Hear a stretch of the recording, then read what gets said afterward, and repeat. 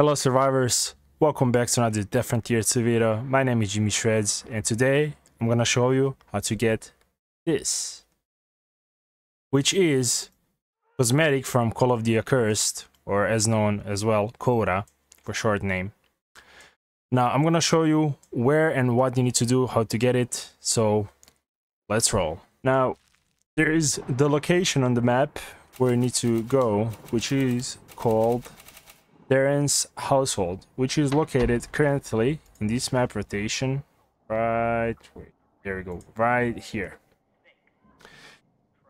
I'm gonna go there and then I'll explain you things what you need to do. So let's get moving. Right, we have arrived at the location. It's not Terrence, it's Torrance household. Now, what you wanna do? You wanna go inside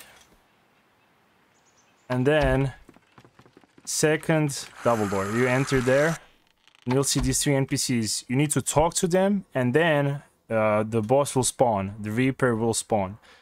Uh, he'll be on fire, he'll have tentacles, and don't remember what else, maybe a sight as well. So have in mind he's gonna be quite strong, quite many mutations. You need to talk to, I don't know exactly which one, but you'll see like the text on the top left corner will prompt up and it'll tell you like something is here. So once you talk to them. Okay, it's there we go. You see? That's it. Talk to this guy. Now he's gonna spawn. Okay, no, never mind. My bad, my bad. Wait. Go a few times. Gotta talk to these guys. And there we go. There he is. Shoot him. Touch that. Touch again.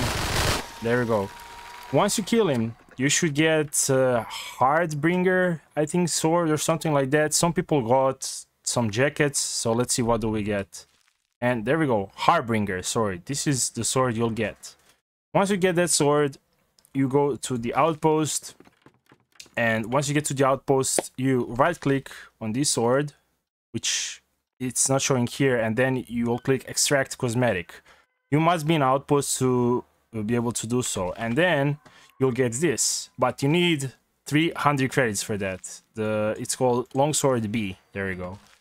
This has the longest range reach out of all melee weapons. So they're pretty much giving us for free um, Call of the Accursed cosmetic, but you need 300 credits to be able to extract that.